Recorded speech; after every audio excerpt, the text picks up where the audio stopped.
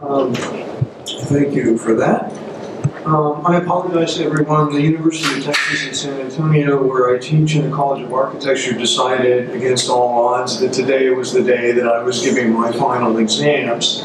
Since I teach in the graduate school, final exams consist of oral defenses of projects, and that went on, well, too long, let me say. Uh, I was surprised to find that two of the students presented projects about, guess what, the Hays Street Bridge.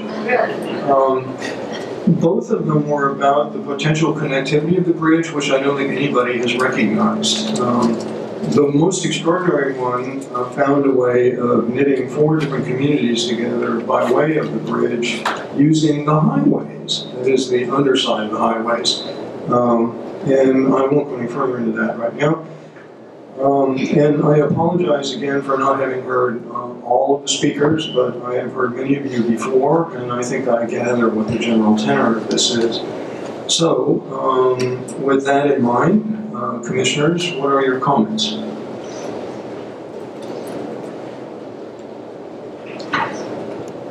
Um, uh, First off, uh, I'd like to thank each and every member of the public that came forward to speak. Uh, All of you brought up very valid points. Uh, Some were presented in a very articulate manner. Some were just more compassionate with uh, a real enthusiasm, and I can understand that, and I feel for you and have an empathy for you in that regard as well. And um, you have opened my eyes and you make me proud to be a San Antonian for having such compassion for the community. So, with that in mind, um, basically what I see as this project, um, there's, there's a few things, there's several things actually. That this is a very complicated issue all the way around. And there are some issues that are not the purview of this body. And the purview of this body is basically uh, the downtown design guidelines. So I think it's kind of in- premature that we're even here because there's some legal aspects that have not been ironed out that are still working their way through the courts. Uh, I understand that the city uh, council at this time is entertaining and keening uh, guidelines for protecting the view shed of not only the Hays Street Bridge but of other historic structures within San Antonio aside from the missions as well. So I think it's a bit premature that we're even here, but yet here we are. Okay? And since we are here, let's take a look at it of what our purview is, and that is base because it Um. Mr. Chairman, could I interrupt really quickly? I'm sorry.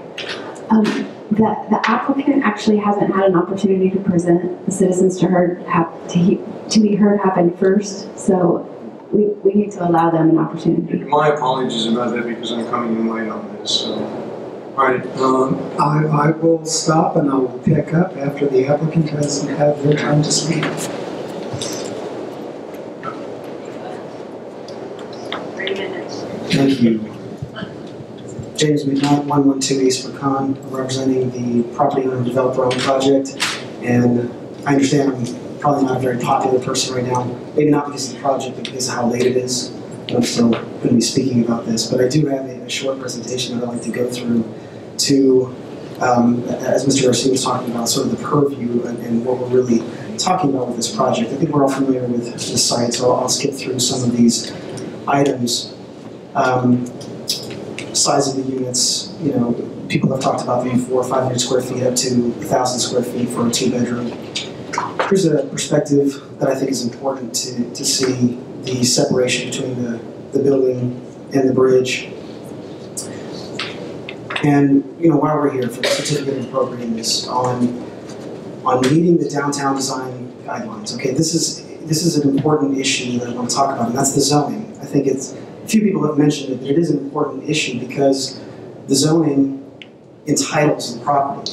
We have a legally developable property that we are following the rules on. The downtown zoning is, was established in 1989 for this area, for the entire downtown area. It was uh, the downtown business district at the time, and then it was converted to the D district in 2001. And it it's the ultimate mixed-use district. It allows retail, hotel, office, and a broad range of varied housing types. I mean, that's something really important about the downtown district is the kind of varied businesses and housing types that you can get. And you can see it's all of this area is surrounded by other D except for the neighborhood on this side. So we're in a very unique situation. But this project is actually meeting the exact purpose of what the, the D zoning was put in place for and entitled to do. Everything that we're doing on this property is, is a a legally developable right that we are just taking advantage of. One woman mentioned property rights, that is, that's part of this. Some of the things that I want to point out from the downtown design guide. Consistent design standards and guidelines, create a livable and sustainable downtown, emphasis on walkability. The downtown design guide is intended to be a means of balancing the traditional qualities of the downtown with the demands of contemporary use. And one part in particular says, in the spirit of affording maximum creativity, the project need not adhere to the letter of every guideline. A project that demonstrates a clear alternative approach that achieves the intent of the guidelines will be recognized as a valid alternative. And that's, and that's really important to, to point out that these guidelines are just that, and that we are trying to meet them to, to create a good project, but they are not the letter of the law. One part of the, another part inside the guidelines is that there is a degree of scrutiny applied where your project lies. That on those blue streets, there is a higher level of scrutiny. And as you get down to the other streets, there's a lesser degree. You can see the little red dot in the corner, that's where this project is. It's not in the highest level of scrutiny. It's not even the, the top three three tiers of level of design scrutiny in the guidelines. That affords us a little bit of creativity and a little bit of a, uh, a creative approach in, in meeting those guidelines, which, as, as you've heard, that staff has said that we do meet those guidelines. You know, we, we've mentioned a lot of issues tonight, and, and Mr. Garcia again mentioned that, that, that we're talking about the purview of the HDRC, like the lawsuit. You know, the lawsuit has been decided at the appellate court. There has been a- an appeal to the Supreme Court, but they haven't taken it. So there is not a pending lawsuit at the moment. It, it has been decided, and that gives us the entitlement. We have the entitlement on the property to continue building as we are. We're following the process as anybody would in trying to get these, get this approval, then we go through building permit approval and, and platting. I mean, there's several levels of, of development approval that we still have to go through. But we're not asking HDRC to do any of those things. We're not asking for a permit, um, zoning designation, or interpretation of that law. We're only asking whether or not we have tried to meet the guidelines with alternative approaches and with the idea of trying to make a good project, which we are. We're, we're trying to, to do something good for the community. It's not about just, I know, I'm not going to get caught up in all the comments, but it's not about just making a dollar. We want a good project. I, this, we are all from San Antonio. We want something good here.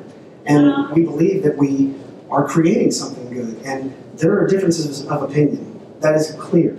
But we're not here to discuss differences of opinion between the neighborhood and the developer. We, we're here to talk about the project that we are trying to bring and hope that we can and meet those guidelines to, to take advantage of the, the legal rights that we have.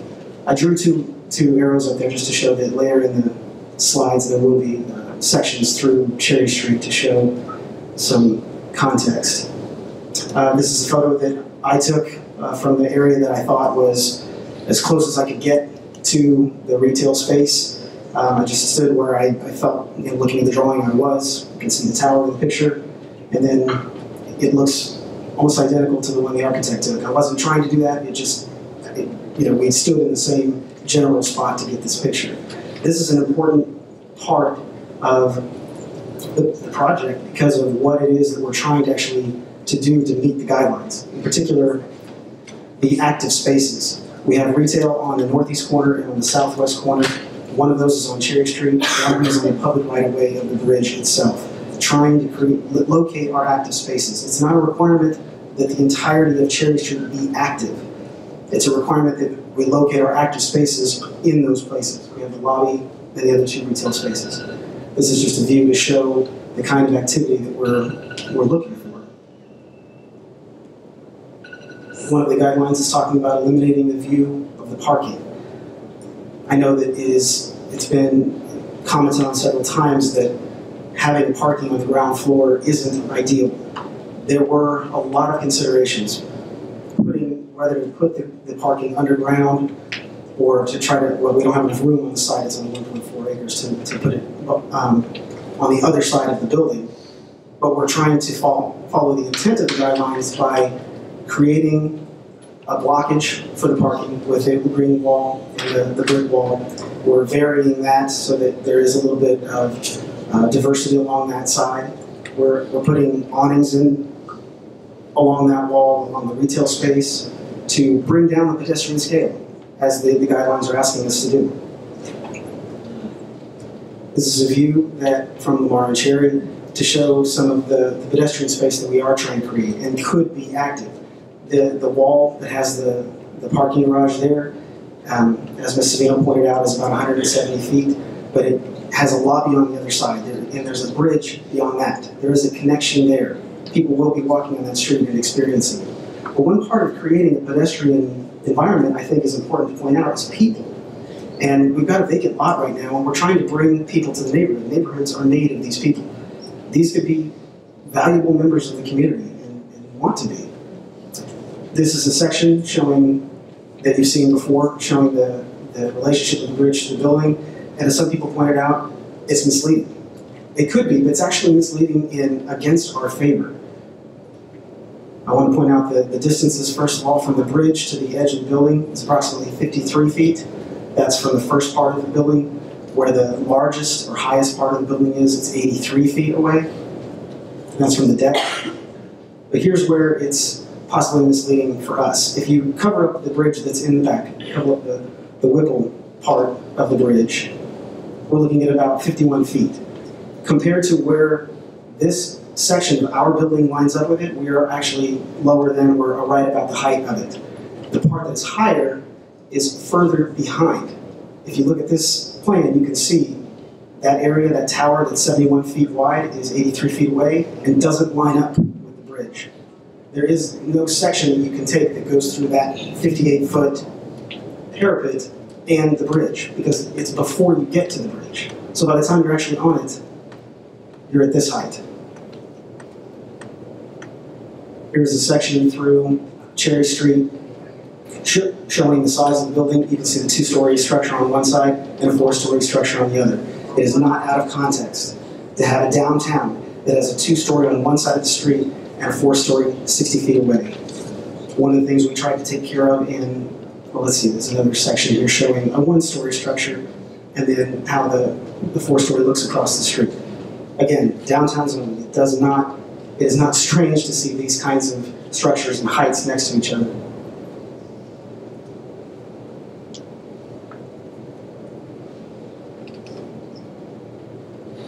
Some of the massing issues, this massing that we, we, we did here, lowering the side that's closer to the bridge, stepping back on the third floor there, and then stepping back again to the fourth story. These were all massing issues that we did in response to the bridge. Massing is part of, part of the downtown design guidelines that we're looking for.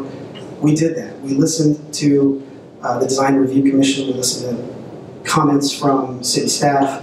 We have listened to comments from this, from the neighborhood. I know that we haven't responded the way they wanted to. That doesn't mean we're not listening. We're trying to make things work in the best way possible and bring forth the best project that we can. So for on the on the wall that is facing the street on Cherry Street, we've stepped the four story back further away from the street level, so it's not just um, a 54 foot, 58 foot wall. These are some of the, you know, just pedestrian shot of the entryway. Again, part of the design guidelines to create entryway along an active street. This is a view of before the, the structure is in place and then after. Yes, it blocks the view of homes from the bridge. That's part of living in a downtown. We're not trying, we're not trying to hide the fact that you can no longer see a house from this perspective. However, if you walk further down, you will be able to see it. This is part of the active space that we're talking about. It's a view from near the Alamo Brewery through under the bridge to the, the re- retail space on the other side. Again, trying to create these active retail spaces in response, direct response to the design guidelines. These are not things that we would be doing to any apartment complex. They're all direct responses that staff has reviewed, that other members have reviewed, and a chance to say, we can meet them. That's, that's it for my presentation. I'm here for answering questions.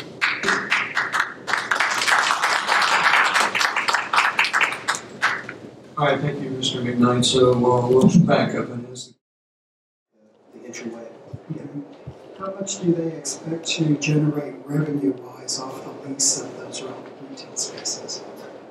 Um, sure.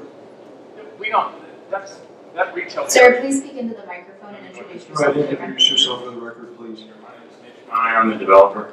Uh, That retail space was done as a response to the- the neighborhood and y'all's suggestions. That, um, that space is, is really not desirable retail space. It's, it's retail suicide. No one's gonna, no one, it's gonna be hard for anyone to make a living. So the answer to your question is, we're gonna probably have to give that, comp that retail space to get a good operator in there. We're, we're not gonna make any money at all in that retail space. We're actually gonna lose money. But we are, we are sensitive because we have hundred and forty-eight new people wanting to live there. So we're going to want to, to be sensitive to what they want, an ice cream shop of course. I mean, that's, that's my number one priority. I don't think it will go there, we'll probably go on the, the retail space by the bridge. But we're very sensitive. Uh, we see it more of a, I think market's not the right word, but a stall, so if you can have a dry cleaning drop a retail, I mean, uh, uh, an ice cream, some, uh, some, just to have all kinds of amenities, a flower shop, uh, just thinking out loud. I don't think it's going to be uh, agent, I don't think it's gonna be a bank branch, but it's going to be, it'll, it'll be active and alive, but we're not going to make any money on the retail, I'll tell you that right now. I've already offered it up to, uh, uh, a person that wants to open up a restaurant, he said, how much is it gonna be? Great. That's what it's gonna take, but we're, we're, we're willing to do that, to energize that, to get some retail down there and get this thing jump-started. But that's what it's gonna take. Okay, thank you. And I'll stick around, so I'm sure I'm back up. All right. Uh, I'm sorry. Well, the, reason I'm going with this is because, uh, from a businessman standpoint of view, uh, they're not making any money off of that space. So, really, to me, it appears that that's bookending this project with retail on both sides to satisfy that it's mixed use. No, I, I get it in the response to the neighborhood. I mean, uh, the neighborhood and the, the HDRC is saying they want retail and they want some mixed use, then we'll be glad, we'd be glad to do that. even giving it away. So I, I think that that it's a misnomer to call it mixed use because from a business standpoint, it doesn't really make sense. And the only reason to have it in there is so that uh, we don't call it what it is, which is actually a residential structure. This is a residential structure. Well, by and large.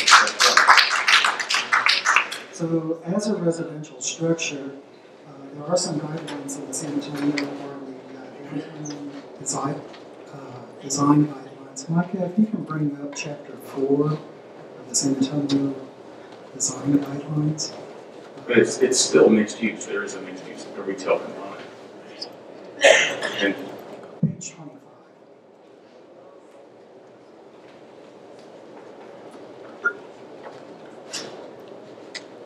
And if you look at that as far as uh, what it says now, of course, it is not the letter of the law. These are guidelines. They are open to interpretation, and that's what this body is here for, is to interpret these design guidelines. And I think it's a disingenuous argument to say that it's mixed use when in actuality it's a residential. And as a residential building, the first floor of the residential should be at grade or no more than four feet above grade. And also complying with the downtown desi- design guidelines, parking should be either below or behind, which you've already stated. So in that respect, the parking should be subterranean or at least half subterranean in order to specify or to comply with the downtown design guidelines. This does not. For one, I'd say that there is, there's no distinguishing between a mixed use and a residential project. We, we're calling it a mixed use because we're trying to activate the space and, and create a better project. We're not trying, we're not including the retail to meet some guideline. There's no guideline that says that if you have a mixed-use project, you can do something different. Um, This guideline is, or this standard is saying below, grade, or behind. We can't do below. I mean, it kills the project, it adds at least twenty-five percent, if not more, onto the project to try to, to try to make it. However, you can do behind. And in this case, talking with staff, we're trying to create the behind by using some retail space, by putting behind the retail space that's there, but also using the, the walls and the, the ivy to say we're blocking the parking garage that's there to meet the intent, which that's the intent. I mean, that's why the guideline is there, is to block the parking. Okay, let's, let's go and take a look at that parking. And, and that's a, that's a very important aspect as well because it really drives home the point as far as how does this interact with the community the streetscape. So by and large, how does this interact with pedestrian and vehicular traffic along Cherry Street? Is that, okay, you've got a leasing office there on one side near the bridge, and you've got three parking spaces for potential um, residents to be able to go in and talk to the leasing agents about maybe getting a rent there. Maybe those three spaces can be also used for visitors picking up residents that are living there or not. Uh, I don't really see any parking in your plan for visitors, so the people who are living here, it seems like they're gonna be all, uh, single people living in these small apartments. Uh, and they don't have any friends that come and visit. Well, right, well, there's a few things to keep in mind. One is that the parking requirements are waived for the D district, so there are no actual requirements for parking. We're putting in the spaces to, to try to maximize the, the small site for the, the residents that are there. But as in all downtown parking, um, the reason they've waived those requirements is because of street parking and parking garages or other things that might be in the area to park on. That's the same for everyone in the downtown area. There are parking garages that have been built for other buildings, but by and large, you can, you, you can build your structure with no parking whatsoever. We're, we're trying to put in as much as we can to really, Okay, let's, let's get you on that. Um, then these, these residents, you don't even have enough parking spaces for one parking space per unit. that's right, there's hundred and twenty-four parking spaces for hundred and forty-eight units, that's right. I mean, that's, that's part of, again, one of the, the things we're trying to encourage about the walkability is that you don't have to have a vehicle. I have several friends that live downtown that don't have a car. Or, or they can use street parking. Well, I, I assume you're not gonna exclude a couple from renting a unit, and, and they may each have a car. That's true, but again, it's not a guideline, that we're, that is not something that, that we are required to provide either through the zoning or through the guideline. So we're talking about a standard that, that doesn't exist. Well, well, but yeah, you're, you're absolutely correct in that, except for, it's, it still does bring us back to how does this interact with the community and the streetscape? So by and large, is it's a parking garage. But in reality, it's really a residential building on top of a parking garage. And then it's like, okay, well, let's go put a couple of retail spaces inside. Now, one of them is actually probably be viable, the one that's in the back corner, that's uh, closest to the brewery. Uh, that one you could probably lease and, and make money off. But by your own admission, you're going to be losing money on the other retail space. So it kind of hardly seems to even make sense to include it when you can get a few more parking spaces out of that. But uh, you know, in, in all reality, I see this in my opinion, and as far as my vote goes, it's my opinion that counts. Is that uh, this is a residential project, and being such, I think the parking should be subterranean. Okay. All right, Mr. McKnight, I have a couple of questions. There were two slides you relied upon in your presentation, uh, number seven and number twenty-eight. We can pull up seven first. And in this, you pointed out, actually, this is a very similar slide. I think this just has the two blue arrows on top of it. Oh, no, it's different. All right, you point out the distance between this building and the bridge. We can go back to seven, please. All right, if we go to either 14, which we were just at, or 28, and we look at that space, that space is listed as being individually platted for future development. So, in fact, that space is not guaranteed to be there. That space probably will not be there. I would imagine if you're individually platting it, and planning something else. As, and neither would this sort of paseo space there. And that makes me very nervous. One issue we come into here at the HDRC is when someone does something and they sell off the property, and they got it. They didn't get what they thought they got. And they come back before us and they say, but we didn't know. We didn't know that we were buying something that had an issue. So what is the plan for that property? And tell me why you should be able to rely upon that space or the distance between this project and the bridge. Well, That, I can't tell you what the plan is for that site because I don't represent the owner of that site. Is it common ownership? Well, actually, that, you're right, the whole lot is owned by the same person right now, but will be privately planted. This, that site is not part of this project. We are not proposing anything on that site that is not part of what's before you to be approved. So you can't rely upon it either in that case to establish that distance, that space between your project and the bridge. It would have to be a separate approval for anything that would be built there.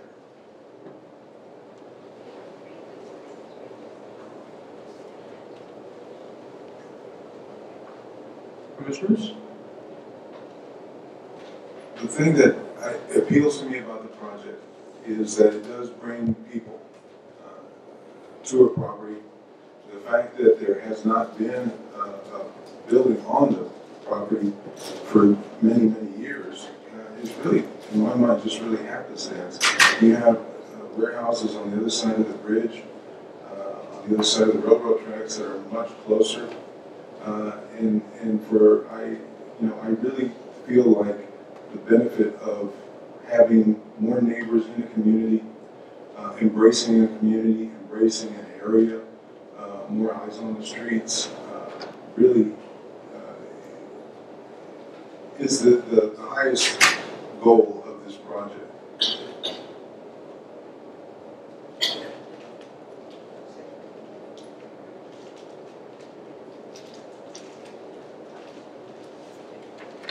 So, uh, I find myself really wanting to support this project, which is strange for me, because I'm usually against just about every development project that there is, and I think my fellow commissioners can attest to that. Uh, So I really want to support this, this project. Um, I think that it is, it could be a prime example uh, for good development in a very needed spot. But I just don't think that the execution is there um, for me to be able to stand behind this project one hundred percent. Um, Not wanting to go through this whole ordeal again, uh, putting everybody else through this thing. Uh, I'm just at a loss for why, after all these meetings, uh, these sessions that we've had, this building just really hasn't improved dramatically. Additionally, uh, there was a uh, stakeholder meeting, I guess you would call it, November 29th. Could you identify anything that's in, that you're presenting today that, uh, that changed since that meeting? One of the things that was brought up leading up to that meeting and then the meeting itself was the, the starkness of the wall. So we were trying to, we added elements along that wall to bring down the pedestrian scale. That was one of the main, I mean, I know that wall is point of contention for a lot of people, so that was one of the main things that we did. Um, they, they spoke about, some members of the community spoke about public art instead of a, a, a vine wall, which we were completely open to. Um, you know, that's one of the things that it's within your purview on approval is to include stipulations about things that you would like to see as part of the approval. Um, that was something that we spoke about there as well. Okay, um, so we've been through guidelines a couple of times, and we, we, I think everybody knows we have required guidelines and we have preferred guidelines. How many of the preferred guidelines did your team look at and say, okay, we really want to do this? And how did that come about with what we're seeing today? I think that there, you know, as many as there are, I couldn't put a number on it, but I, I do believe that the, you know, I'm not, I wasn't the architect, but I do believe that was part of the design process, was looking at a lot of those guidelines. It wasn't, I mean, I'm trying to look at the, the plan to include a few of them, but they weren't standards. It's part of the massing and just overall, um,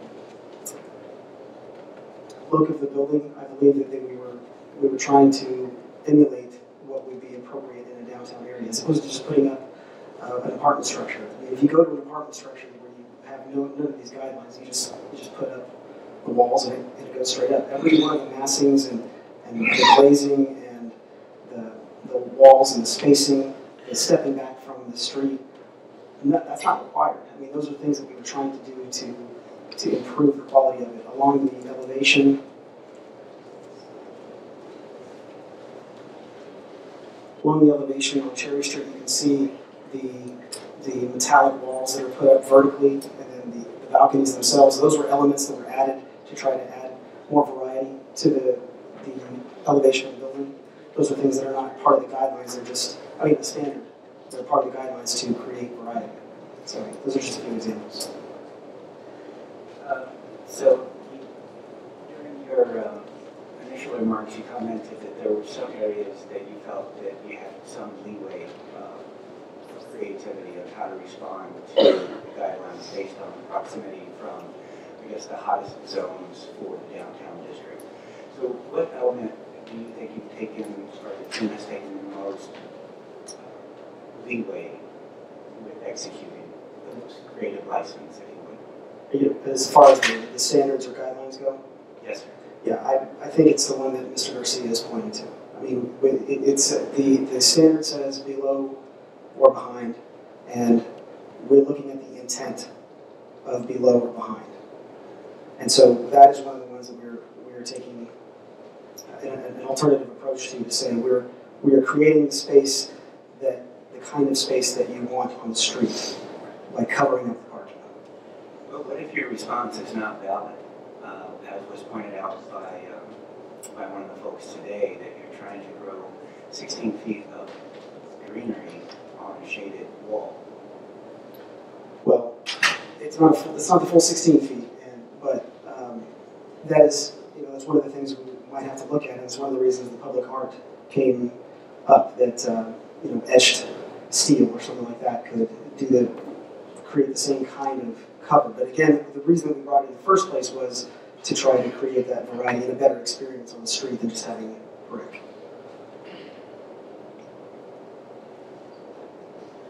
I think some, folks are responding to the inaccuracies of, of the renderings and the plans and such, and, and that's something that we have commented on throughout the process. So still to get to this point where the dimensions of certain elements, vital elements, are still in question, I think is a little bit disappointing. Um, Again, um, I'm sorry, which elements were still, that's why I was trying to provide some of those details Yeah, of you kind of explained, you know, your version of, of the, uh, the photographic spots, uh, but just the renderings in general and the drafting in general for a project that is under this much scrutiny, I think should be to a much higher degree of accuracy. So, um, that- that-. Well, um, I'd like to weigh in on this now too, but uh, Commissioner Kamal, do you have anything you want to say? Um, I do have a number of notes from uh, the supporters and opposers to this and from your presentation, sir. Um, things actually has been said that related to the purview of this commissioner, um, this commission and things that beyond. But I'm just gonna go over a few of them um, towards how that could help us make a decision, uh, if ever gonna be done today. Um, some of the supporters said it, it does actually fulfill hou- housing need, like typology does, does non-exist. Uh, I do agree. And this typology is actually could mitigate crime. I partially agree, but this is not the mixed use that actually mitigate crime. Although all of this is actually outside what we um, actually look at. Uh, just to make it clear. Uh, then the um, uh, the people opposed, with all due respect, I, I actually do have a lot of valid points. I'm going to go over them as well. But uh, we were talking some of the uh, the points raised was about the view shed, and I don't think we are looking at the view shed. We're looking at visibility in general because we don't have guidelines that looks actually or mandate a view shed at the moment. Um, so we still we're not looking at it from view, view shed, but we're looking at visibility. Um, historically, for over 100 years, that's something that we can look at. We are looking at. Um, then um, the income, people who could afford this, I hate to say it, we're not also looking at this. We are um, abiding by some guidelines. We look at uh, this is beyond uh, what we look at. Um, but um, I have to look also, I, and I, I do agree with my commissioner, my commissioner, uh, Garza here, but um, um, uh, Garcia, I'm sorry, about the parking.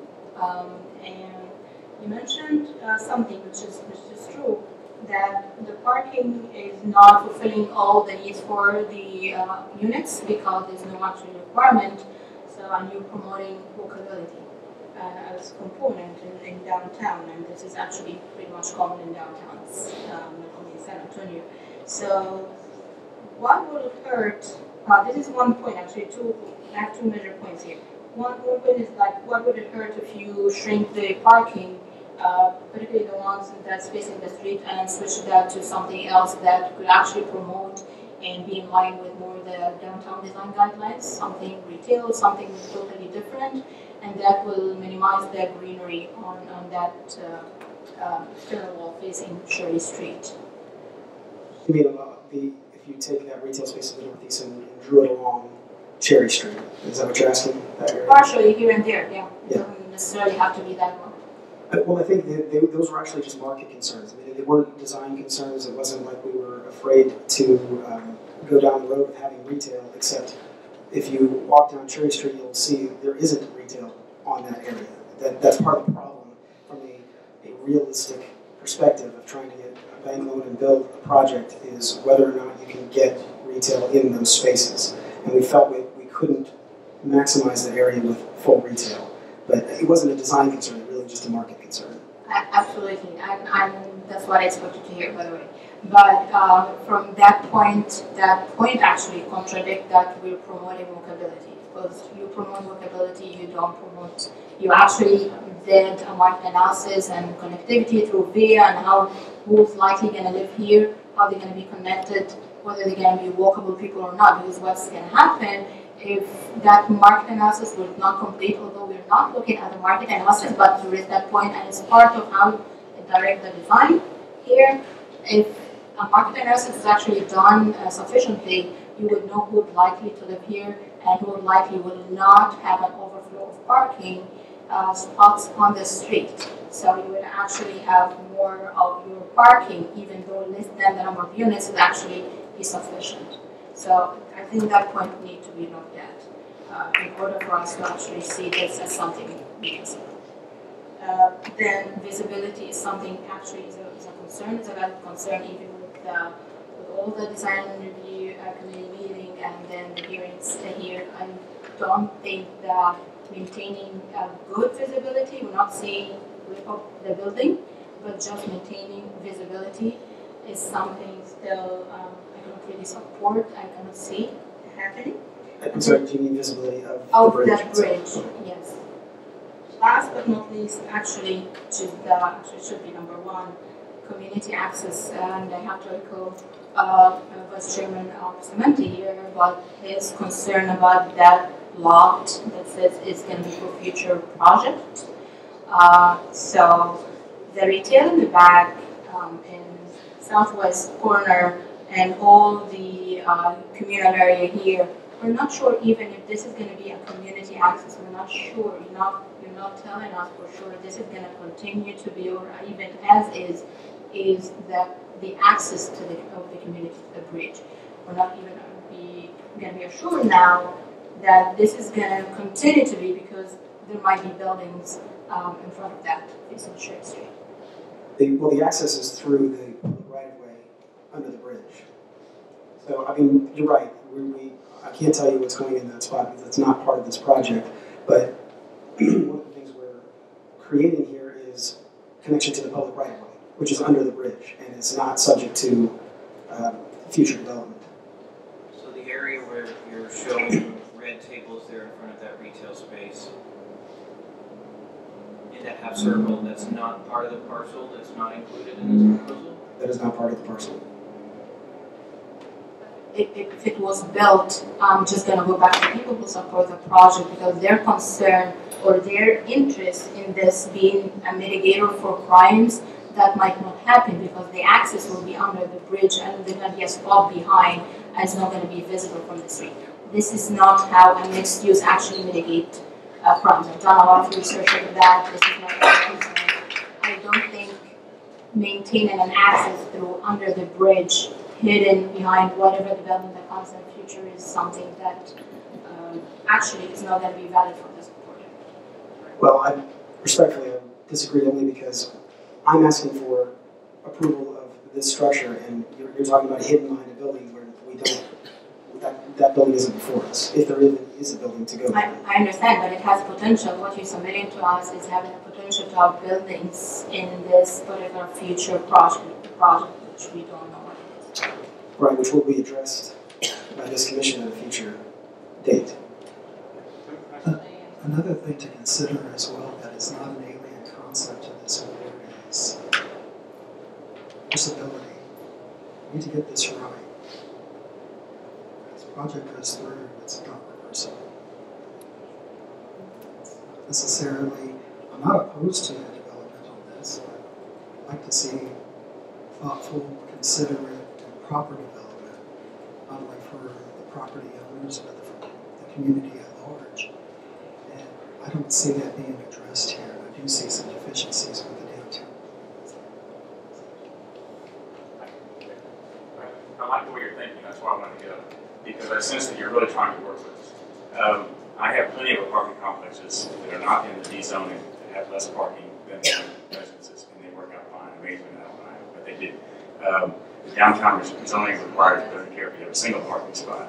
But with what you said, what if, because I'm, I I really want to make this work, and I have a feeling you're trying to, to help me get this done. What if we put residential, residential units along the street? The reason I put the green wall, I saw these in Mexico City, and they were beautiful, and they were just really pretty, so I thought, wouldn't this be nice for, so that's how the green wall came about, I just thought they were beautiful. Apparently, no one likes them, I get it, I'm a big boy, and I can change it. Um, what, if- to hide, like you said, four feet up, what if we put units, um, door, I mean, unit along the front street of, of Cherry and, and, and energized it that way with actually people living there. And then you have, hide the parking behind it. We can live with less parking spaces because we already are. We know that works. I mean, I, I know that, that that formula works. You do not need a parking space for every unit. Um, and maybe that's a way we can work together and, and get this overcome. Uh, secondly, I don't think it's, I don't think it's fair to lump a project that I'm not even associated with that may or may not take place in the future and attach it to, to this one, this, this green space right there. It's not mine, I have nothing to do with it, and it shouldn't be a, a considered with, with this. I don't know what's gonna go on there, I don't know what's gonna go on across this Cherry Street in the future or behind it. It's just, just my project right here, and I think we should keep it contained. Well, here's why I take issue with that. One. I'm asking, I'm not being a wise man. but your representative relied on that space and provided us a picture using that space. And so the reason I'm holding you responsible for that, it's actually two reasons. One is that, is that you, there's been a representation that that space is important, and that space provides a view of the bridge that wouldn't be there otherwise. Second reason is, I think historically, this has all been one parcel, correct? That's true, we replatted. Okay, so you replatted it. You created the condition that makes this an issue, And so I, I have trouble getting beyond that. And again, especially if you sever it and you sell it, and then someone else buys it, and then they come before us and say, we paid X amount of money.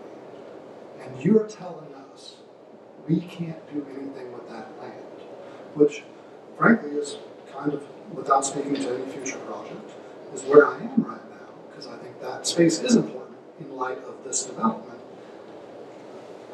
You know, that, that you severed you chose to do that, instead of using it, and then at the same time trying to rely on it, that, that strikes me as wrong, and, and well, it wasn't, I, I did it because I, we started to, that's the space we need. It wasn't intentional, there was no grand design of, or, scheme, it was just, um, it's not my property, and I, I, I see what you're saying, I really do, but I don't think it should be lumped in with this decision. I really, I want to work hard to get this, the, the neighborhood happy, and, uh, the biggest thing I'm hearing is this, they don't like the parking garage. You don't like it, but most of the people don't like it. Um, I'm I'm here to, to let's try to change it so we can go home and say, yeah, we'll approve this if he puts residential on Cherry Street. We'll approve it if, um, you know, I, I, I would rather have it all, all residential than not have that retail there. We're gonna have some, because I, I think sooner or later it will, it will be. Well, as, as it's presented right now, I cannot support it. Okay, what, what, what, let's work together. You, you need to design and bring to us what you want. This is what you designed and brought to us. And I'm saying I can't support it. Well, but we have been, we have worked with, with uh, DRC, we've had two DRC meetings. Uh, In all DRC meetings, I've, I've been told that, that um, the, the people, the commissioners that were there said they liked the project. So we're, we're acting in good faith and, and we're trying, and we have to start somewhere and we, we start. We've changed our project radically by getting rid of the driveway on Cherry Street and, and uh, redirecting our traffic to Lamar. Uh, it was you that said, let's get these, get these people energized around by the Eighth Street. We did that for you. Um, I mean, we, let's move the retail, let's add retail, let's move along Cherry Street. Let's, let's do a better job along Cherry Street. We did that for you.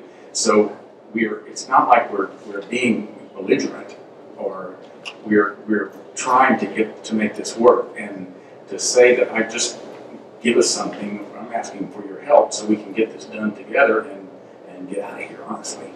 Well, I can appreciate that. As it is right now submitted, um, I'm not near there yet, but I'm about to make a motion to flat out deny it, and then you can reapply and bring something else. But I want to I- I reply, haven't, I haven't made that motion yet. and I, I want, I want to reply properly and respectfully, and I'll do this, you know, again and again. If y'all have ideas, I was very attracted to Alva's idea of, let's work with this guy. And I took your comments seriously. If we can put, uh, uh, doors along Cherry Street and make that active and get rid of that parking, I'm happy to do it. Will you also be able to look at the community access, continuous access to the bridge, even though the lot that's nearby is not owned by you, might have some other Oh, development, you know I know the owner, but it's just not me. but that, Alright. that will come to us. I, I would like to have the opportunity to comment now because we're kind of slipping into going back into a design review committee meeting, and I think we've done quite enough of that personally.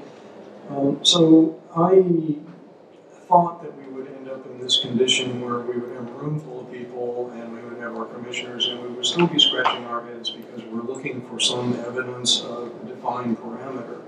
So I want to key on something Commissioner uh, Larry Zinn said. Um, This is nothing if not the definition of a high-profile project because we're all here at 10, 15 at night still discussing it.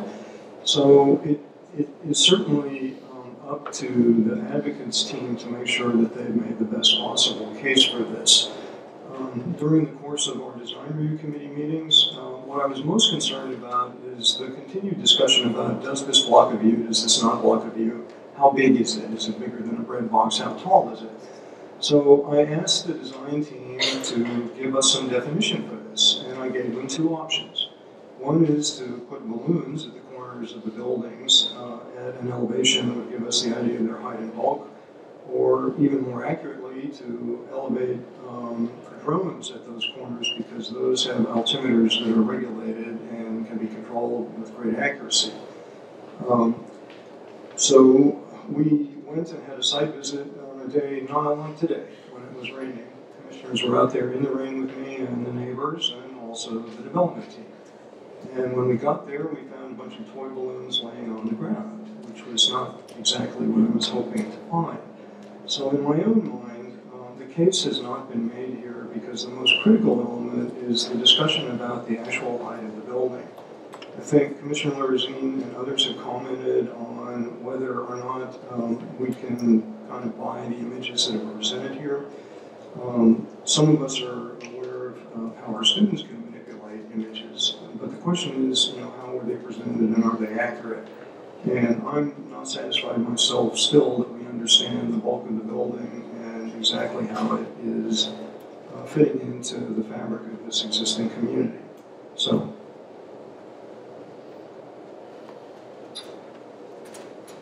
But are the images so far off that we, that we can't get the general idea?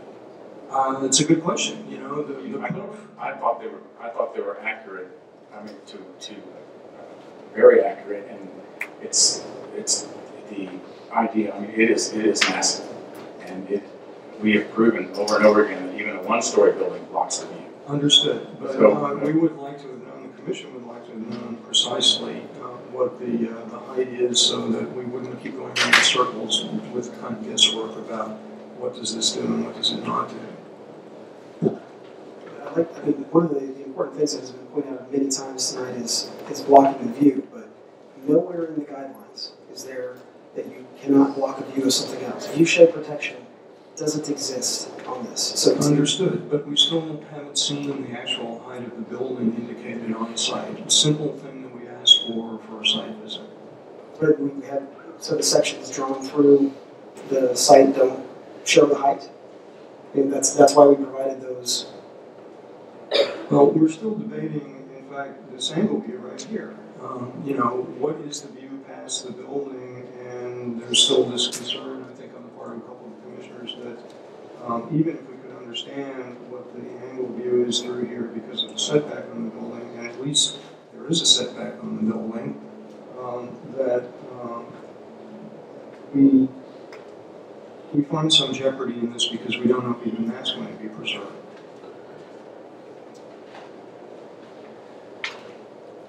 To your question about the views in the sections that you've shown. So in an architectural set or an architectural environment, there are rendered views and there are drafted views. The drafted views are what are lacking from this presentation. And I'm pretty sure at this point we should have drafted documents, construction documents to be reviewing. We don't have those. That's an answer to your question.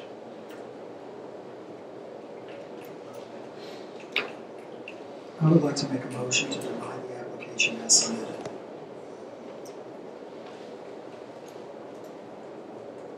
I will second. All right, we have a motion and a second. Is there further discussion, commissioners? All those in favor, say One minute, please. Um, I would like to suggest or determine if it's possible that we as commissioners can take some time to digest everything that we've heard today come back with an answer within 24 hours. Well, let me make a parliamentary point here. Uh, we have a motion and a second on the floor, and so we have to proceed with it.